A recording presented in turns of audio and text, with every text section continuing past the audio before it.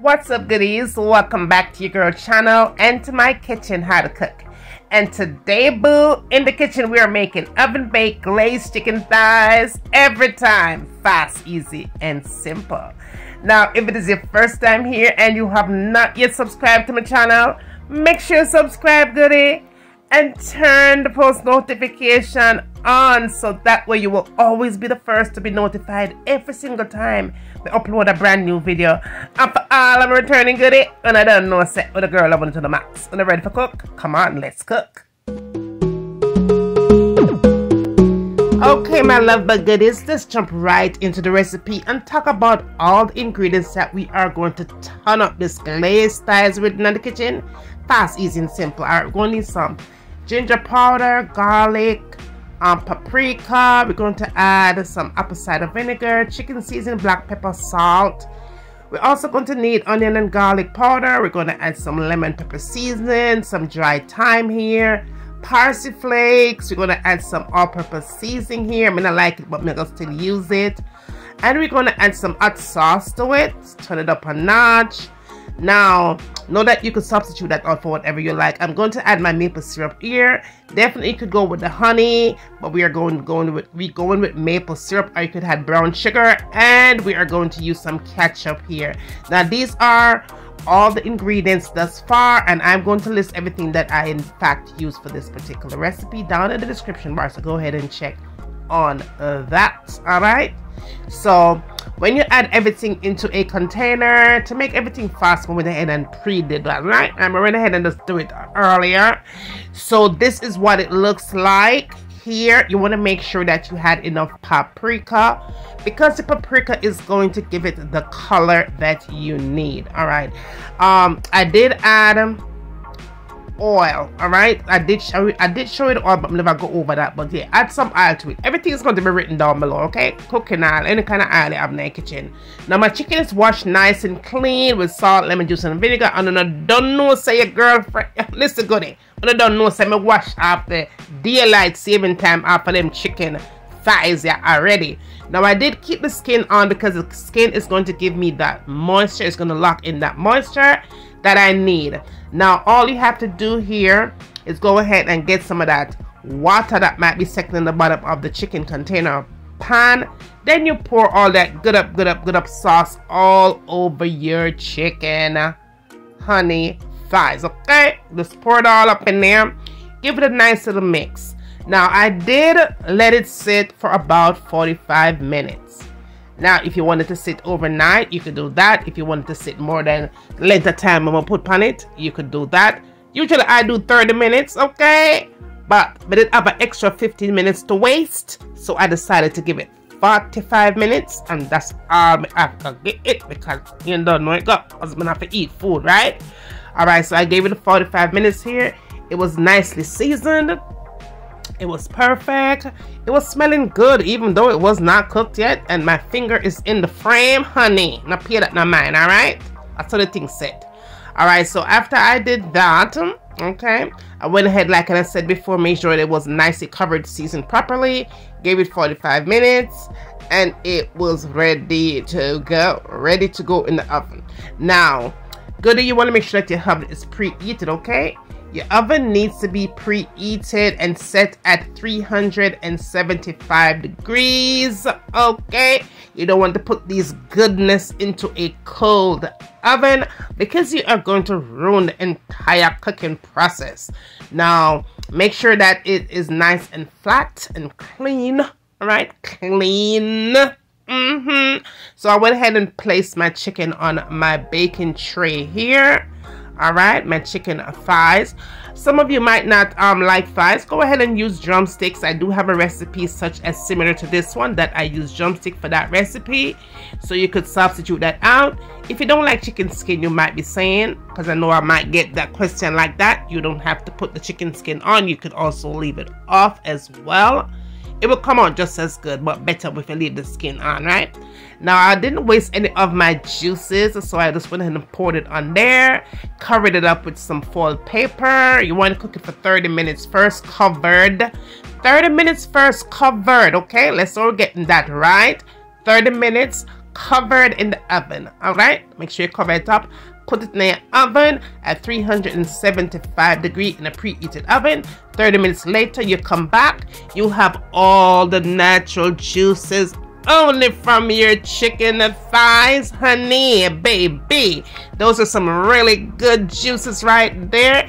And we are going to be using those juices to make or sauce or glaze boo. So we're not gonna discard that. We are going to need that, all right? If your chicken to produce them juice there, return the chicken because the chicken is no good. Now, when you are done with that process, you want to go ahead and take these chicken thighs out of those good juices, place it into another container here, such as this one, and let it go into sit and chill and wait uh, until you remove everything. When you remove everything, you go ahead and pour that juices into the pan that you are going to make your sauce in. All right, we get that right because we are going to, like I said before, we're going to use this good juice to make our glaze bowl. We're going to do that. Now, after you have done that and the chicken look like that and it's smelling amazing, baby, amazing, you're to go back in and place those thickened thighs on your baking tray like I'm doing here in no particular order. I never know why I make it so neat because it's going to one place, right? Belly.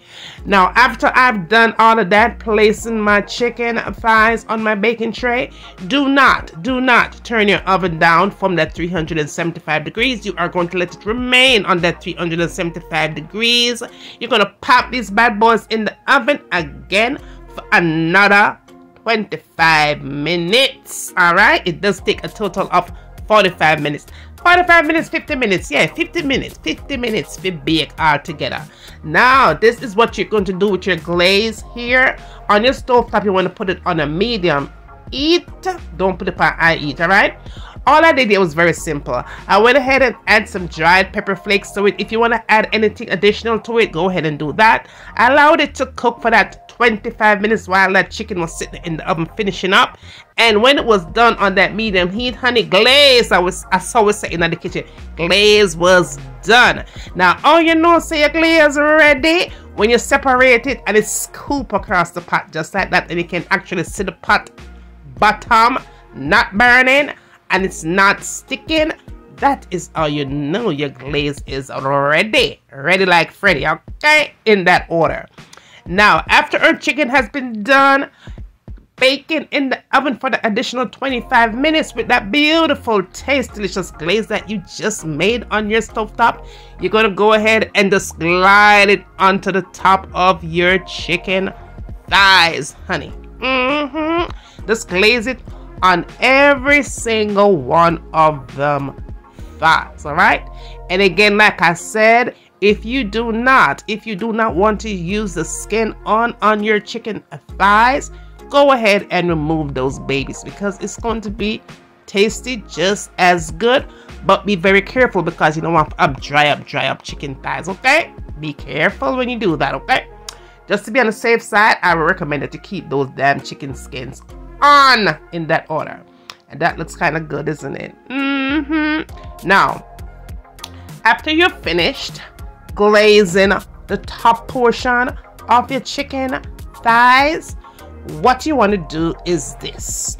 You are going to, all right, turn these babies over on the opposite side because listen, it takes two wings to make a bird fly now. Oh, you to glaze one side and don't glaze the other. So just go ahead and flip them up on the next side. And we are going to repeat step number uh, one on step number two. So when you finish doing that, all you have to do here is simple. Just use some more of your glaze boo and just put it on top of the other part of your chicken thighs, just like I'm doing here. Hmm, why am I getting hungry looking at this? Anyway, never mind me. We can't eat this because you don't know already, right? All right, now, so now we're just going to go ahead and glaze this baby in and good to make sure that you are subscribed to the channel. If you have not subscribed to the channel, where wait pan. Now just watch me cook up them thing. Yeah, go ahead and hit that subscribe and you don't know it, right? So you'll be always notified whenever I upload brand new videos. All I did here, boo, was add a little bit of the green upon it. Whether you want to use parsley, whether you want to use um, basil, what? Listen, whatever you have in the kitchen with green, as long as it's not callaloo and it's not as long as it's not spinach, you go ahead and just sprinkle some green upon it. All right, just for your presentation purposes only. But like I said before, this chicken is amazing. Look at the inside of that chicken. No, no, no, no, no. Be sure that you're spreading this love with all your friends and family. Tell them what going over here. Bring them, come and send them, come. I am waiting. After you get done doing all of that goodie, all of that, all of this, all of that, tell me where you want to see me I cook next in my kitchen. And remember as always, from my kitchen to your kitchen. Enjoy!